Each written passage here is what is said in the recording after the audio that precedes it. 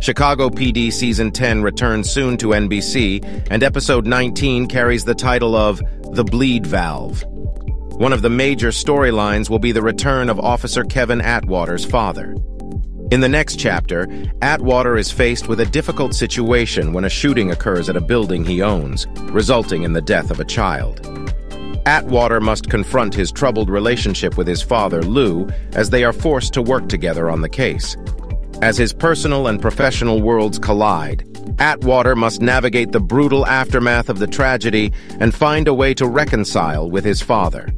NBC has released promotional photos that tease some upcoming events in Chicago PD. The photos show Atwater and Ruzek working together during an investigation, as well as giving a glimpse of Hailey and Voight on a mission. The press release also released the following synopsis. Atwater's worlds collide when there's a shooting at the building he owns in Burnside, which leaves a child dead.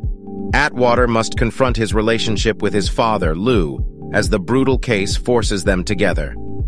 Chicago PD Season 10, Episode 19 is going to air Wednesday, May 3rd on NBC.